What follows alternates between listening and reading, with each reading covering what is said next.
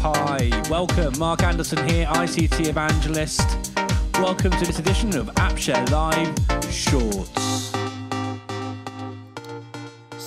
So, a great way to capitalize on the limited space that you've got in your bookmark bar in Chrome um, is when you're adding uh, a page as a bookmark, is to remove the text that it wants to try and add to the bookmark bookmark bar.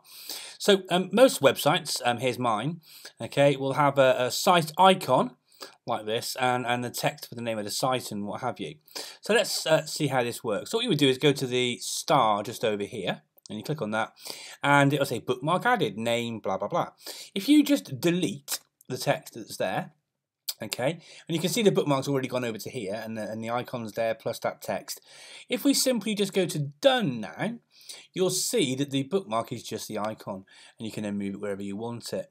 And let's just face it, it's really easy to work out which any of these are. You know, you've got um, Google, you've got your Chrome history, Twitter, Office, Evernote, uh, Chrome Web Store, Amazon, Amazon Prime, Netflix, so forth and so on. You can fit in so much. And if you're not quite sure what any of them are, if you just hover over it anyway, it will tell you when you hover over it what the website address is anyway. So you should be able to work out from that what the actual icon is for and where it goes to. So look, it's that simple. It's really easy. Uh, it's a great way of making sure that you can see all of the things on your bookmark bar.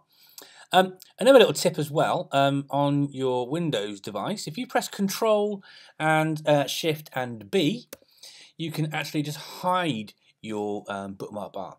Okay, so just Command Shift and B gets rid of it, and then Command Shift and B will bring it back. So you can hide it, bring it back, hide it, bring it back, hide it, bring it back. You get the idea. Um, hiding it is a great way of getting that extra little bit of real estate on your screen, particularly if you're using uh, a smaller screen uh, where um, real estate is, is of a real premium.